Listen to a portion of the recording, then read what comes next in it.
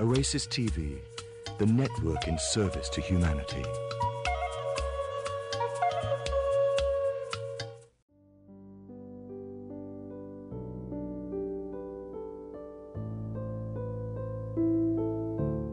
Stress kills. Now, so many people ask you about the book and say, you know, oh, I have stress, ha ha. You know, well, guess what? Cancer, heart disease, and stroke are all stress related. So, when we choose to express ourselves, we go through a kind of a spiritual energy transformation every time we choose to go from, from hate to love. And so, in a sense, any negative emotion is a judgment if I don't like something.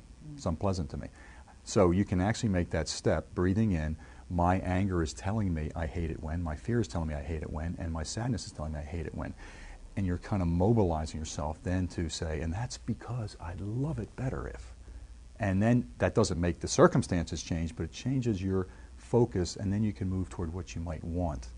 Well, it sounds like it's even empowering to know that we have a choice. Because I know sometimes when I'm upset, it feels like there is no choice. But if we stop oh, that's so important. and use your techniques, it just reminds us we always have a choice of how we react to something. Maybe not the circumstance, uh, but we do have a choice of how we react to it. Epictetus, uh, back in the 5th uh, century BC, said that uh, men are disturbed not by things, but by the views they take of them. Yeah. So that choice, it's what the shamans have been saying for centuries, the Mayan shamans that I study with as well, that we want to get back to that true power, uh, reclaim the power that we didn't have as a child in a situation, and in, a current life situation as an adult, our boss may be triggering a helplessness in us that we felt as a child, which then goes into fight or flight. I want to tell him I want to raise, but he'll fire me, and you can't do it because you're full of either the rage or the and the fear. And so, returning to that peaceful power of love, of being able to move toward what we love in that situation, is really that's where it, it really becomes important.